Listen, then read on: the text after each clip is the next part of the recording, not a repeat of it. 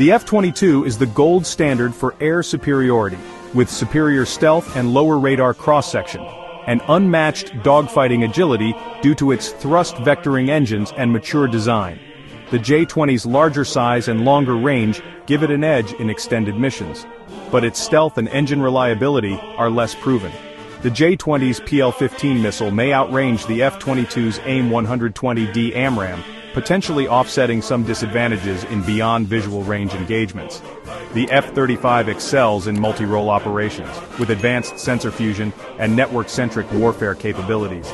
The J-20's air superiority focus and longer range make it a stronger competitor in beyond visual range combat, but its multi-role capabilities are less developed than the F-35's, particularly in ground attack and electronic warfare, the F-35 stealth is optimized across a broader spectrum, while the J-20's stealth is more frontal-focused.